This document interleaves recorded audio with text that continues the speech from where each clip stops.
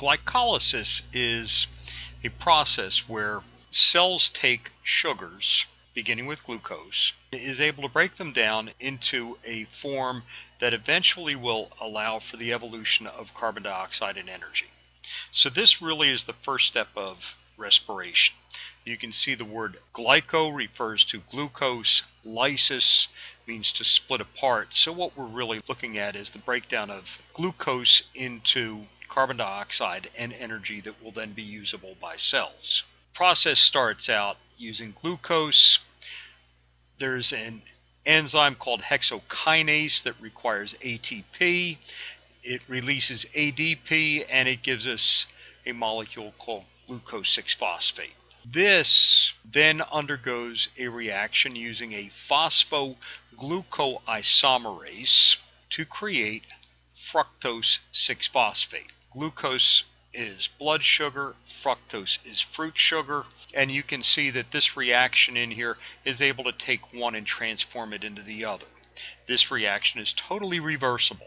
The fructose 6 phosphate gets picked up by an enzyme called phosphofructoisomerase, and again, this is going to use ATP, and it's going to create fructose 1,6 bisphosphate. So, so far we've used up two ATPs. The fructose 1,6 bisphosphate is picked up by an aldolase enzyme, and it's split into two molecules. One is dihydroxyacetone phosphate, it's often abbreviated DHAP, and the other one is glyceraldehyde 3 phosphate, which can be abbreviated G3P. Next, what happens is there is a triose phosphate isomerase that takes the dihydroxyacetone phosphate and transforms it into a glyceraldehyde 3 phosphate. So the dihydroxyacetone phosphate is somewhat short-lived, and in the end, out of the fructose, we really get two molecules of the glyceraldehyde 3-phosphate. Now, these will continue on. NAD is used to create NADH. Phosphorus is imported in on this,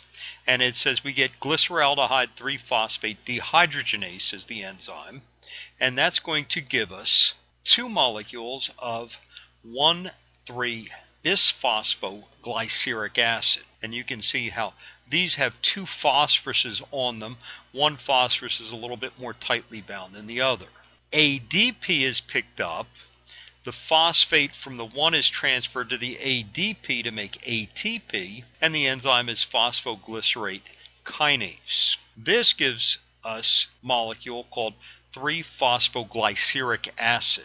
The 3-phosphoglyceric acid is picked up by an enzyme called phosphoglycerate mutase. Mutase means it's going to change it, and it's going to change it into 2-phosphoglyceric acid. You can see that the phosphorus unit is now moved on to the number 2 carbon.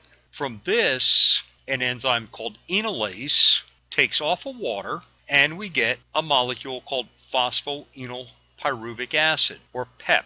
And this is a important material because this actually is used in some of the other forms of carbon metabolism. Enzyme called pyruvate kinase comes in and you can see it takes ADP and phosphorylates it again. So we're now taking the phosphorus off of the phosphoenolpyruvic acid and this is going to give us pyruvic acid.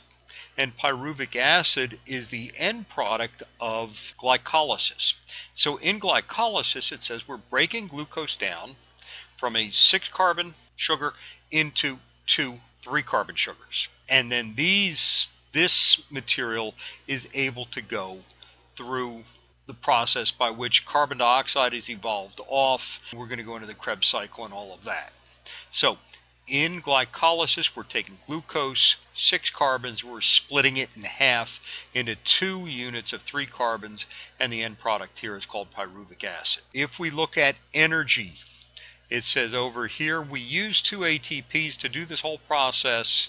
In the end, we made four ATPs, so we had a net up of two ATPs, and it says we also have the production of two NADHs.